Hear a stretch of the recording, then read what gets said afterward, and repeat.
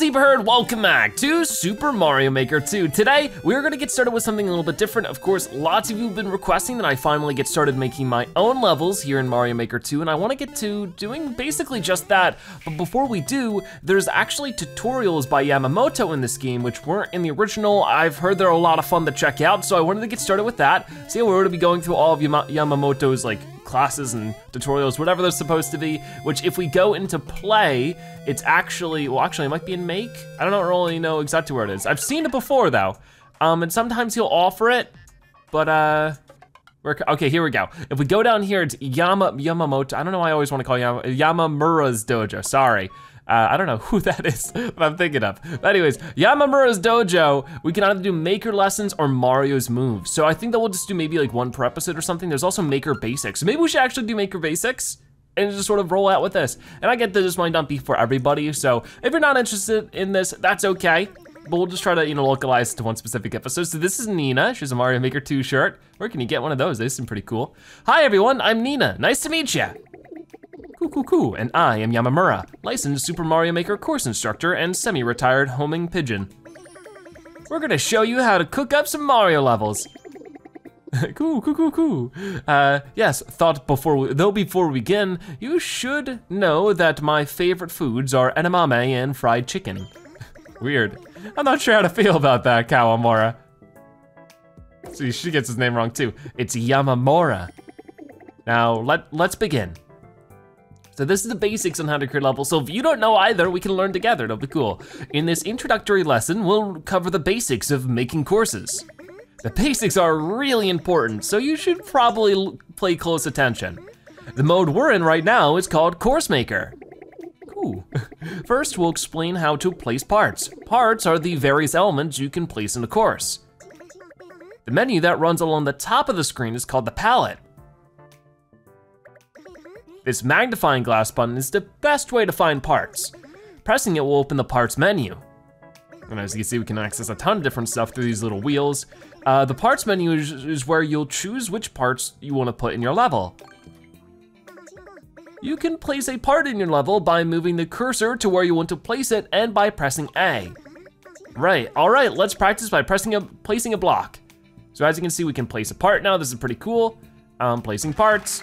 Oh, there we go. I'm just pressing A and we can place down some blocks all over the place. Good job with those blocks, with those blocks. Very creative. Cool. Keep in mind that there's a limit to how many parts you can place in a course. I think it's a pretty high limit though. As you can see, parts you recently placed will appear along the palette for later use. You can quickly check out the parts you place by running a test. Oh really? So yeah, that's where we can test player level. Go ahead and press minus to test your level. Okay, so as we're here, just press minus, and we can test out the level. We can see that there's actually coins in our question blocks, which is pretty useful. There we go, we got everything. And then when I'm done, do I do anything? Oh, oh okay, I've, I've reached the end. If your test didn't go so well, try moving your parts around. So we can go back to make. To do that, press minus to return to edit mode. Okie doke, so let's do that. And like these are some super basic stuff, but I think it's important to learn it just to get fully comfortable because the uh, controls have changed from making things from the first game as far as I remember, at least a little bit. Uh, after placing parts in edit mode, it's good to quickly test to make sure they're set up right. Keep repeating the edit test process to make your course. Next, we'll explain how to erase parts. Press left and then move your cursor to this button and press A to enter erase mode. When in erase mode, move the cursor to a part and press A to erase it. Okay, let's mess around with erase mode for a little while. Erasing part. So, if we press this button right here, we can just go ahead and erase everything we just set up. like it never happened. You monster, those blocks had families.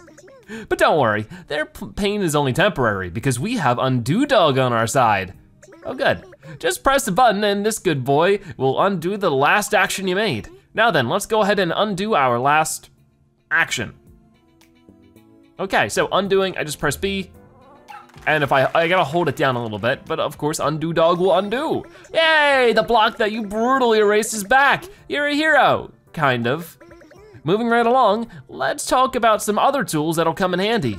Press ZL slash ZR to activate the multi-grab and copy. This enables you to move many parts at once, copy parts and copy parts that you've placed. Now for something incredibly handy, the reset rocket. Press and hold this button to instantly destroy everything you've worked so hard to build. To be clear, it will erase all of the parts from your course so you can start fresh. Let's move somewhere with a lot of parts so we can test it out. Ooh, fun. Lots of parts over here. Okay, go ahead and hold down the ignition button. Erasing everything. So if we go, how do, what button do I press? Okay, I just gotta move over here. But, oh, here we go. Reset rocket, I gotta hold it down just like in the story mode. Three, two, one, and kaboom, it's all gone. All right, hooray, we're so destructive. Congratulations, you ruined everything. Well then, I guess that's all the basics of Course Maker. Huh? Oh no. Oh, but first I should probably tell you how to save. Press this button to save or load levels that you've made. Save early, save often, I always say. Well, that's it for basics of Course Maker. Awesome, so now we know the basics, we can get into, I do not wanna watch the lesson again. I think we got a good clear view on that, but now we can actually do some more maker lessons, and then I think in maybe another episode we'll do Mario's moves. I'm not really exactly sure what that is, but let's try the maker lessons. Wow, there's a lot of them. So that's definitely why I wanna do this all on its own episode. I don't know if I wanna be doing all of them in today's episode, but I figure I'll do, you know, like a, a lesson video now, then I'll maybe make my own course, test out some of the things we learn in a future episode, then go back to doing more maker lessons. You guys can let me know, maybe you guys will despise this episode, and tell me never to do this again, and then I won't, but probably be too late at this point. Uh, beginner, intro to making. Sure, let's learn all about it, because this stuff does teach you some good tips, a lot of people were saying. Intro to making. Cool, cool, cool. Before we start making courses, I should probably explain what a course is. Courses, where I'm from, we call them levels. Cool, cool, cool.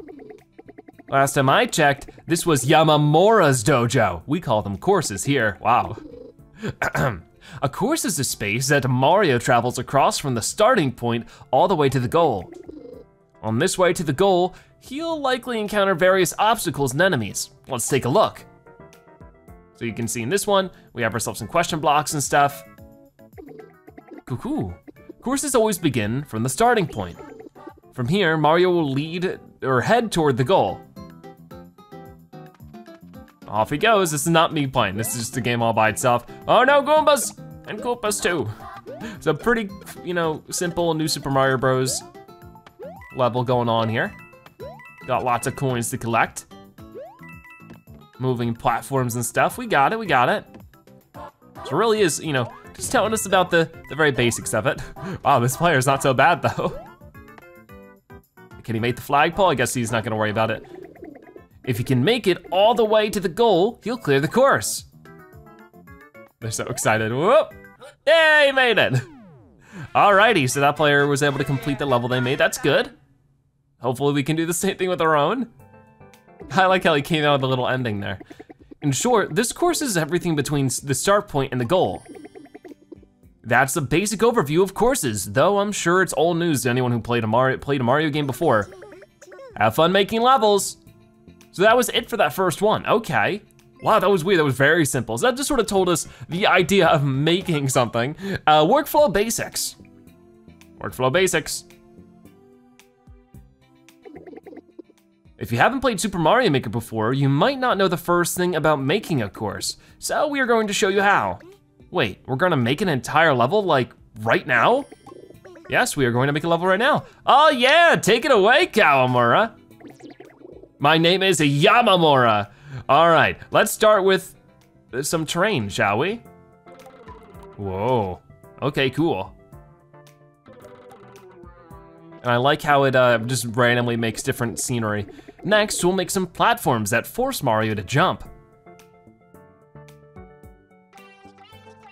Okay, interesting. So this is very similar to the level course we just saw the character play through. But obviously you can't just run to the right for that, you're gonna have to jump over it. And more of the same over this way. Yamamura's really good at this. I'm a little worried. I don't think I'm gonna be able to live up to his to his legendary building status. Okay, Nina, please test the course for me. Okay, so it looks like Nina's gonna give it a try. I like how it's the idea that Nina's playing it though. Nina's pretty cool. I don't know what happened to Mary O, because that was a character from the first Mario Maker. But you can't make it any farther than that. Easy peasy. Indeed, now I'll go ahead and build until, build until the goal. So looks like he's adding more stuff now. Okay, just like a straight line to the goal? Nothing more? Oh, he's building the second one now. I mean, he might be adding more. Okay, he's adding a little something. More jumps and stuff. Maybe a couple enemies here and there or something. A little bit of a playing course. Whoa, whoa, that one's really high up. What are you gonna do about that? Maybe a power up or something. You have a lot of ground in there. How about an enemy or two to spice things up? Good idea, human. I'll add some Goombas and Koopa Troopas. There we go, there's a Goomba and a Koopa. And a Red Koopa too. Good variety. Oh, there's that moving platform we will need. Oh, he looks a little annoyed. Maybe a little too much. Okay, give it a shot, Nina. Oh, let's see how Nina handles this one. Lots of different enemies. I hope she'll be all right. I think she will be, but she's just gonna ignore that Koopa. Not a problem. The red Koopa up there is a bit tricky, but she handled no problem. Look at that, even got those two down there. Okay, well, another course completed by Nina. She's great. Oh yeah, Mario time. Nice, it was definitely harder than the first half. Most enemies move, which forces the player to have good timing. When making a course, think about how you want the player to feel during each moment. Placing and erasing parts is a snap, so unleash your inner mad scientist. All right, well, there we go, there's that first lesson done. Next one is on inspiration. On inspiration.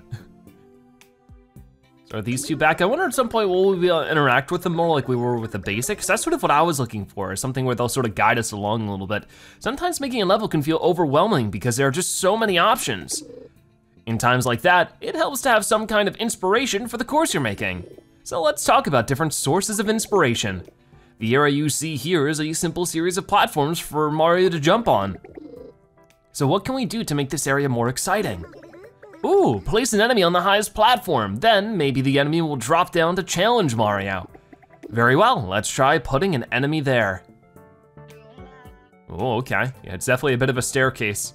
You think they'd use a little bit more slopes. So he should be able to jump on that Goomba no problem. It is a bit more difficult than if they were both on even ground though, for sure.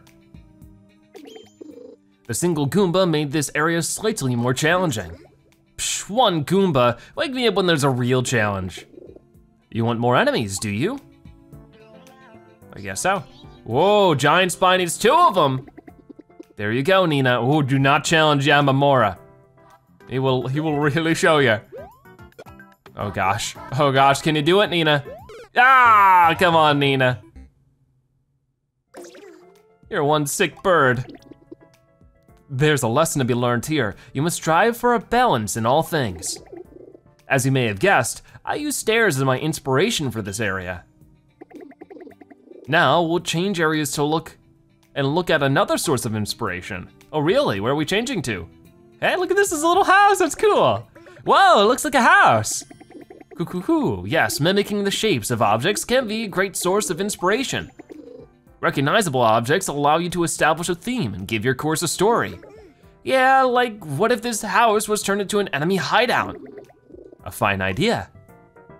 Cool, so we can't really, whoa, nice. To make this feel like an enemy hideout, I added a variety of enemies and obstacles. As you can see, thinking about the story you want your course to tell makes it feel much more inspired. Wow, very cool. Ah, what's wrong? This area looks much more unique than the areas, uh, area that's nothing but ground, don't you think? Oh, I totally agree, it looks really cool. Yeah, all the pipes make this area look awesome. Up until now, we've been talking about using inspiration to shape the terrain. But you can also develop a theme for your course by using primarily one type of object or enemy. In other words, instead of throwing a disconnected jumble of parts into your level, try using a few parts you like in creative ways. Exactly, there are no rules to making a course, but try to put thoughts, thought into which parts you're using. That's for sure, definitely want some kind of coherency. But there we go, there's that one done. I actually really liked that lesson, had a lot of cool ideas. Definitely, that's what I need to sort of keep in mind as we're figuring things out as we move into lesson four, which is fixing mistakes. Sometimes when you're testing a course, you'll notice something isn't quite right. Yeah, like all the time, but I always fix it right away. So let's talk about ways to fix your mistakes. First, please play through this area, Nina. I'm all over it. Wish we could do the little bit of playing, but I guess, you know, this makes it a little bit more simple. So what's the issue here? Oh boy, it's a big jump. Can you make it? You just gotta use the run button. Nina hasn't used it once. Hey, that the dash button on this controller is busted. There's no way I can make that jump. Oh. Yes, I sabotaged your controller for demonstration purposes. This gap is too wide for you to jump over. So, how do you think we can fix this problem, Nina? Uh, you could start by buying me a new controller. or we could just make the gap smaller. All right. I mean, I feel like that's not really too much of a mistake, but okay, because you know that's just using the convention in the game. But okay, making it smaller. Testing each section, section and fixing it as you go is a good way to improve your course. When you come across a problem in your course, try fixing in multiple ways to find a fun solution. Definitely. Oh, removing it again, but also making a higher jump. Oh, interesting. So that'll definitely help as well. Just going way up and then way down. Let's hope at the least, or Mia's gonna fall to her doom. Oh my, she made it, just barely. Yeah, I still think fixing my controller is the best solution. Seriously, I just bought this thing. Indeed, every problem has multiple solutions. Okay, that was a really e easy lesson, lesson for sure. Okay, lesson number five is testing. Testing.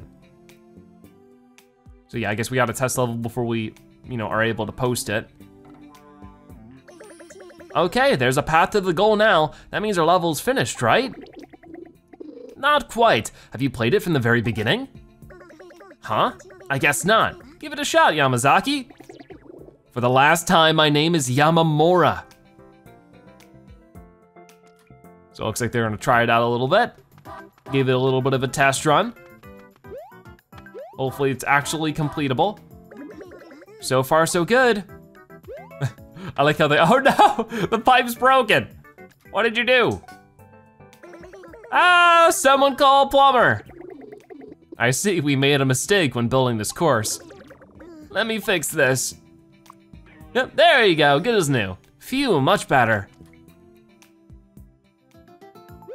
I'm just gonna jump right over it. Okay, that's good. Any other mistakes around here? Doesn't look like it, whoa.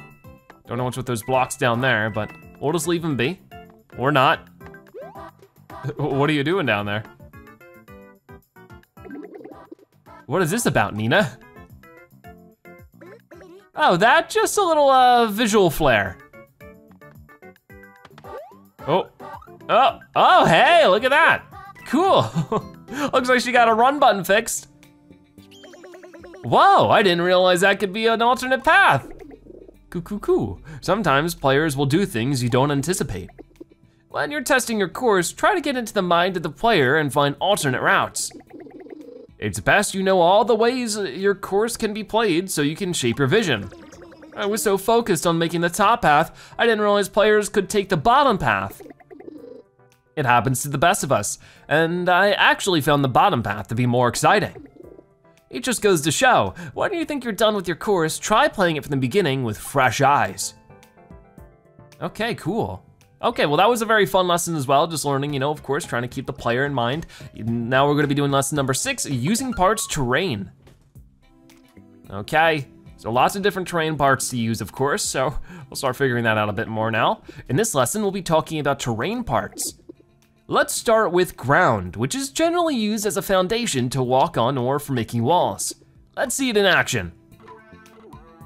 So of course, we've seen this quite a lot, making different jumps and stuff. That's definitely the case here. You can make like a little cave, a little alcove or something. Lots of stuff you can do. Placing terrain like so creates platforms that Mario has to jump on. But there's no rule saying that ground tiles have to be placed on the ground. You can also place them in the air to make floating islands. Next, look at the bridges, semi-solid platforms, and mushroom plat, or was that mushroom platforms? I guess, I don't know. Uh, these parts are interesting because Mario can jump through them from below to get on them, but he can't get through them from above. Yep, that's definitely interesting. We'll spice up the level a little bit. Also, let me show you something. Nina, do you think that you can get these four coins? The ones in the middle, easy peasy. So of course she can get them, but can she get back up? I don't think so.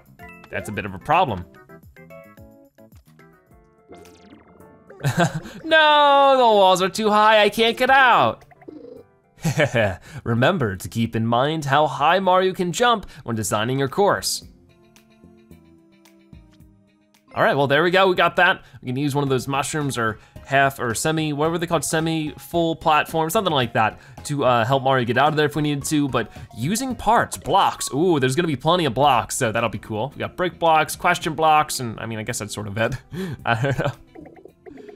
The brick block and question block parts are some of the most versatile and iconic tools in your Maker toolbox. Mario can walk on blocks and blocks, meaning you can use them as mid-air platforms. Let's try walking on some brick blocks. Okay, so as you can see, Mario just hops up and just starts walking across, no problem.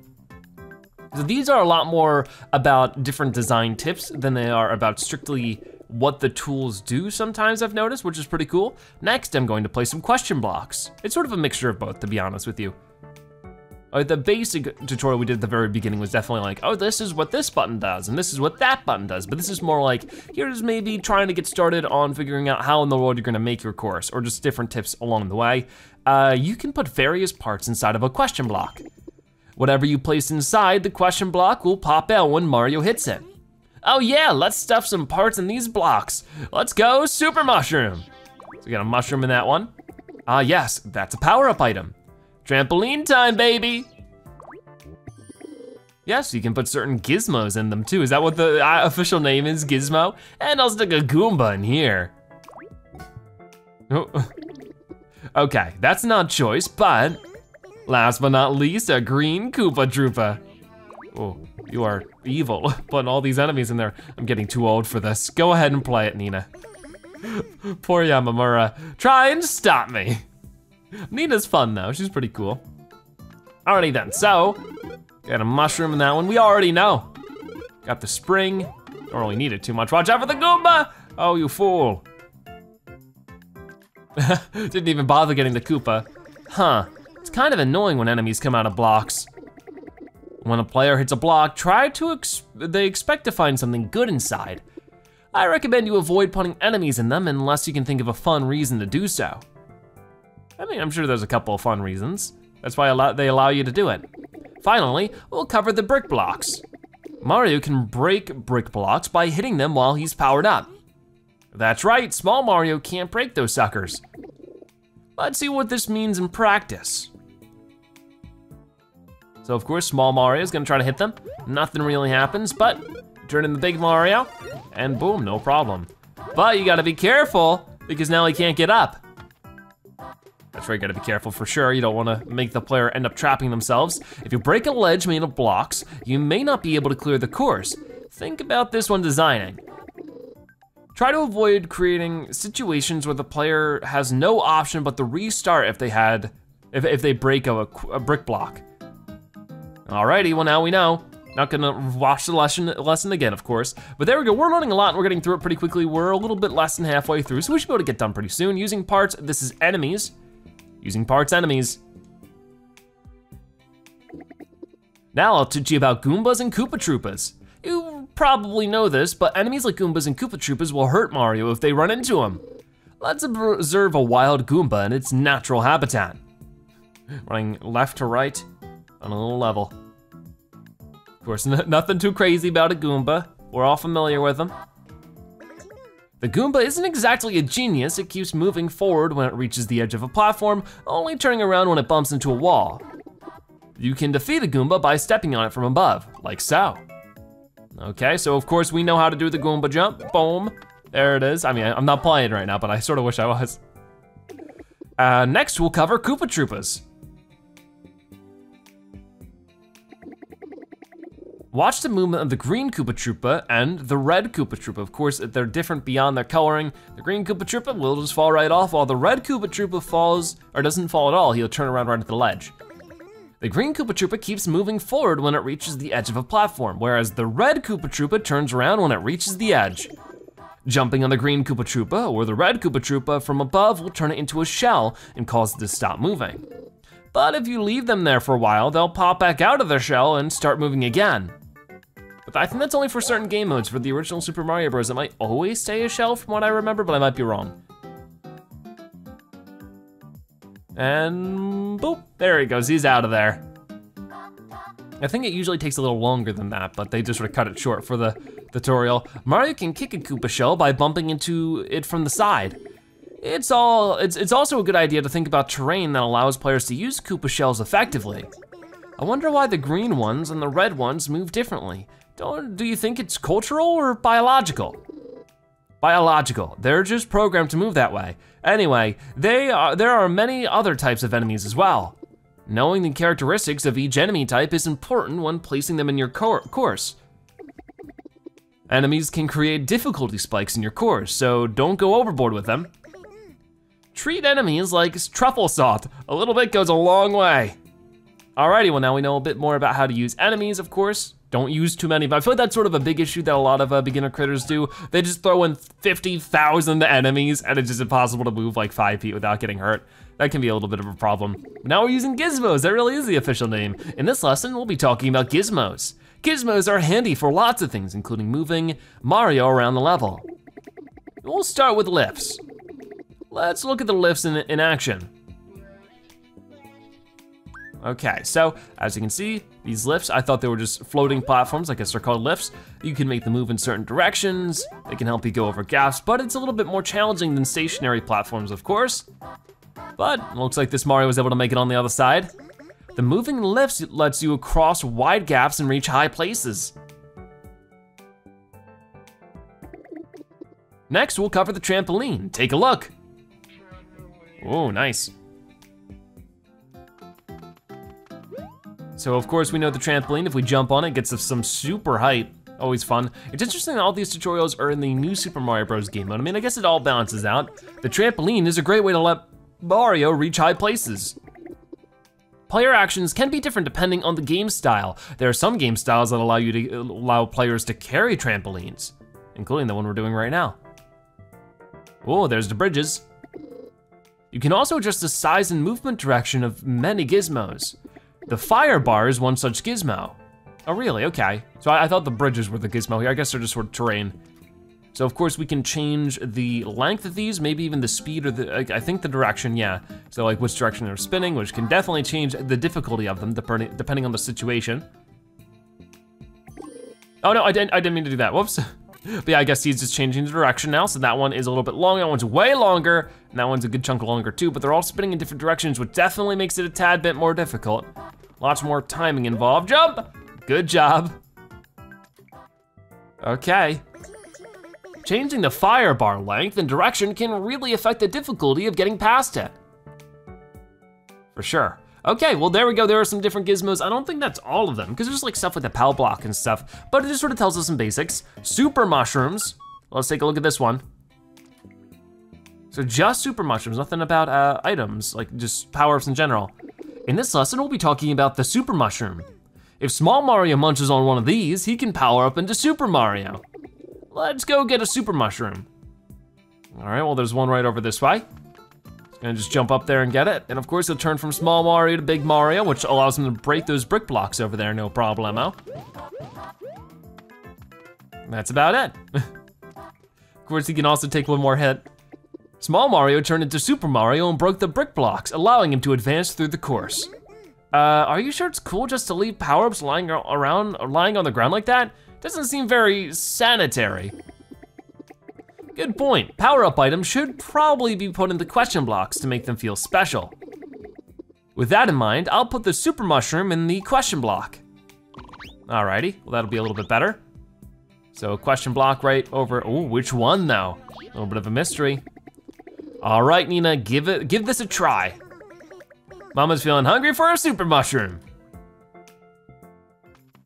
Okay, super mushroom for you. And once again, you're good to move forward. Pretty cool so far. I mean, obviously we know how to use super mushrooms, so not anything too crazy. Finally, there's one last thing I'd like you to keep in mind. Okay, Nina, transform into Super Mario and try to get all of the coins in the next area. You don't have to ask me twice. Okay, so what's going on here? I'm a little confused, but I guess we'll find out. Oh, but you got hurt. Ah, I see, and now you can't move forward. We sort of got this lesson a little bit before, but I guess we're getting it a bit more now. Of course, we wanna make sure that players can get past things, or they'll be stuck in the level, and that won't be good. Ah, I turned back into small Mario so I couldn't break the block. And this stinking wall's too high for me to go back, so I'm stuck here forever. Nina's agony, while entertaining, is precisely why it's important to avoid creating areas that trap players. I love how they have like a little rivalry. That's cool, so we now of course know about how to work with super mushrooms. Only what, five more to go through? That shouldn't be too bad. We got 11 here, coins. Lots of coin action. I feel like coins aren't as important in this one, or in Mario Maker in general, but in this Mario Maker 2, they are a bit more important than the original because you can have like coin requirements to complete a level. In this lesson, we'll discuss coins. Players are naturally drawn towards coins. When creating your course, don't hesitate to exploit the insatiable greed inherent in all human beings. What about zebras? Uh, what?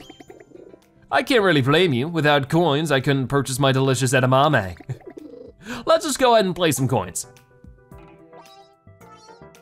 Of course, it can be a good way to lead players through the level, try to find out where they're going next, or maybe just to reward them for adventuring a little bit to find a secret. I place them strategically to lure Mario towards places I want him to jump to. Nina, play this area and just do what comes naturally. Of course, I should be collecting the coins. And indeed it is. Okay, very cool. Alright, well, Nina was able to handle that just fine. Where am I? I remember seeing those shiny, beautiful coins, and the next thing I knew, I got Mario to the end. Why do you think that is? Because Mario, your Mario skills are second to none? Maybe? Hmm, no, I just like shiny stuff. Humans. Now I'll introduce another way to place coins. You can put them in blocks as well, right? Yep, you can put them in brick blocks. First, I'll put a cache of coins to lure the player where I want them to go. Got some stuff up there, pretty cool. Nice little stack of them. This will cause, oh, what, what, what happened? okay, just, Nina's already just playing, trying to grab those coins. Is that what's happening right now? I think so. I wasn't done explaining. Huh? Where am I? I saw all those coins and I just kind of blacked out. Why did you put all those beautiful coins there? When you see this many coins lying around, you immediately want to pick them up, don't you? I place these coins here to give the player a sense of satisfaction. Wow, coins are more powerful than I thought. Coins are powerful indeed, but you must use that power responsibly. If you place too many coins in your course, they'll, they'll lose all their power, you know, inflation and all that. you should make the player course, or the player work to get coins. Humans want that, uh, want that which they cannot have after all. All right, well there we go, another lesson done. That was pretty interesting. Of course, if you just have coins everywhere, it's not really gonna be worth getting them all. So you wanna make sure that they're strategically laid out as we move on to lesson 12, which is tracks. I don't know what it means by that. Hmm. When you want parts to move around your course, use tracks. Oh, these kind of tracks. Ooh, I love tracks. They're used to move stuff. I just said that. Let's begin by placing some tracks. So there's a track up there and over this way, making a little L. All sorts of them, cool. So you can put all sorts of things on tracks. You can put platforms, enemies, oh, and you can even make them curved. You can extend a track by sliding it in the direction that you want it to go. But you can't cross two tracks over each other, so don't get any big ideas. It'd be cool if you could. Mr. Y, what's, what kind of parts can be placed on tracks? I'd say most parts can be placed on tracks, though there are some terrain and gizmo parts that can't. Let's see here. So of course, platforms can. As you can see, I just put a lift on the track. Wait, so I can put almost anything on a track? So many possibilities. Yes, tracks open up all kinds of gameplay options, like making vehicles to transport players. Let's see it in action. Okay, so here's Mario, he's gonna hop on top of there. Of course, he's gonna wanna try to get those coins, you better not fall off. Be very careful, Nina. I do like how the little screw in the center will spin. And there we go, you made it. I do like the idea of making a little hole so that, like, you know, the platform can move, but the player can't go through it. Ooh, I bet that would be more fun if you had to avoid enemies while you were grabbing the coins. Perhaps it all depends on how you want to make your player feel. So looks like that's happening now. Oh, maybe we're putting enemies on there or something, I'm not really sure. Whoa, oh, gotta be careful. Here I added a grinder and created an area full of coins. Give it a go, Nina. On it. Okay, so you're gonna be able to make that jump. Oh, just barely. Go on, keep grabbing those coins. Ah, too close, too close. That was very good of her though. She, she didn't get hit once. Combing tracks with hazards such as grinders can be can force the players to react in interesting ways. Seriously, even if I dodge the grinders, it doubles back after it reaches the end of the track. On that note, you, if you erase the end of the track, the grinder will fall off when it reaches the end. I'll show you what I mean. Zip if we put one up there, but remove the end of it. Oh yeah, this is very interesting. You're up, Nina. This is where things can get very scary because as you can see, it'll fall but land on this track and now I gotta deal with two of them. Oh no. Why would you do that? Oh no, watch it, watch it. Oh, you can do it, you can do it. Yeah, you just barely did. Phew, I somehow managed to dodge both of the grinders, but they almost sliced me to bits. And there you have it. There are many reasons to use tracks to liven up your courses. The more creative you are with tracks, the more you'll be able to terrorize players. That is not good.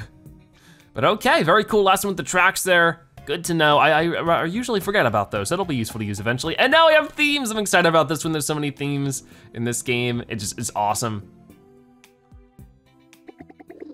As you place parts in your course, there are many things you'll want to keep in mind. But before we get into that, we're going to have Nina play this course. Uh, okay. I think it means like themes like desert and stuff, but I'm not really sure. Oh gosh, there's a thwomp. Oh, gotta be careful. Well, this is a tricky one. There's a ton of enemies. Okay, this is getting a little ridiculous. Ah, yikes. Why do you hate me? For demonstration purposes, as you can see, this area is packed full of enemies with no rhyme or reason. It's obvious that the maker of this course didn't have a clear vision. They mistook difficulty for challenge. That's a big thing. I think for game development in general, not just Mario Maker courses, lots of, that's a really tough thing to get over is difficulty for challenge. There is a difference. I know what you mean. Sometimes when I'm making a level, I just want to stuff in every idea that pops in my head. Putting too many ideas in your course is an easy mistake to make. Chaos can be fun, but only if there's a purpose behind it. Yeah, whichever bird made this level messed up bad. Yes, this the course def certainly seems to lack a theme. Okay, so maybe they don't mean environmental themes just yet. If you want to challenge a player, try to pinpoint a specific skill you want them to demonstrate and only use parts that fit that theme. That's an interesting way of thinking about it. Let's look at another example. Okay, so what's going on this time? We got lots of Goombas a lot of Goombas, but this one's maybe a little bit better because you need to sort of balance your jumps on top of the Goombas. It's a little less random and a little bit more specific. Lots of Goombas. Okay, now it's getting a little ridiculous. I used a Goomba theme for this course. You can make an entire course based on a single enemy if you want. Try to limit yourself to a few parts and find creative ways to use them. Okie doke. All right, well there we go, there's one about theming. Not the theming I had thought, but hey, let's do number 14 on difficulty. And then we have one last one and that'll be it for today's episode on difficulty. Since the dawn of time, philosophers, game designers, and seat cushion engineers alike have asked a question. How hard is too hard? Everyone has their own opinion, but this area here feels fairly difficult to me. That is a lot of enemies. If we want to make this area easier, we could reduce the number of enemies. All right, well, less Goombas, maybe one less Spiny. In one, I reduced, or area one, I see, uh, I reduced the number of Goombas. Oh. In area two, I changed the Spinies into Goombas, which can be squashed from above. But now they're just Goombas, that's a little bit lacking in variety. Uh, then in area three, I increased the space between the Goombas. Changing the number and layout of enemies made this area easier. But don't make it too easy, I like a good challenge. I'll now introduce another way to change the difficulty of a course. Oh really, what'll that be? Nina, if you would. Hmm. Whoa, that's a tough jump. You can make that though. It's just a bit of a challenge. Oh, come on, this controller is busted. I totally jumped off that block. Yes, I'm sure it's the controller's fault. Let's just make this area easier for the controller. wow, okay, there you go. You're up, Nina. This should be much easier for sure. Ooh. There you go. As you can see, Nina was able to make the jump that time. Nailed it, first try. Adjusting the size or width of platforms can also change the difficulty. Keep that in mind. So yep, you don't just have to put on enemies to make it more difficult, you can change the size of platforms, the types of jumps, and where the enemies are, that kind of stuff. Number 15, our last lesson of the day, asking for feedback. Luckily, I have you guys for that. You can let me know your thoughts about whatever levels I end up making, hopefully. Uh, Nina, would you mind playing through this course and I, I'm working on? Anything for you, Yamamara. oh no, so close, it's Yamamura. Is it Mura? I don't know how to pronounce, I'm sorry. I'm sorry, Yamamura, buddy. Looks like she's playing this course, whoa. Whoa, this is a tough one. Just keeping up with it pretty well. Hmm. So if she can get Big Mario, she can get in there and get a bunch of coins, that's good. Interesting course from our pigeon buddy so far. Not really too much going on. It feels a bit simple. If you, if you want my feedback, which I don't know if he does, and that's the end. Not bad, good job to Nina for completing it. Oh yeah, Mario time. Okie doke. So what did you think of the course? Let's see, the part where I had to jump across those tiny platforms was pretty tough. You mean this part? All the way over here, yep. Yeah, if I wasn't a world-class Mario player, I probably wouldn't have made it. Right, world class. I put these platforms close together so players would could use small jumps to hop across them. Oh, one more thing. There was a part in the second half where you break the blocks to advance. Hold on, I'll move that move to that spot. so it looks like he's not even following his own lessons right now. If I didn't get the super mushroom and jumped on the semi-solid platform on the right while I was still small Mario, I would have gotten stuck forever. Ooh, that's true. Good catch, I need to fix that. This is precisely why it's good to have, an, uh, have other people play your course and give you feedback. Feedback from other players always makes your course better. Yeah, other players will never fail to notice things you didn't see yourself. Everyone has blind spots. When you think you're done with the course, ask your family or friends to play it and tell you what they think.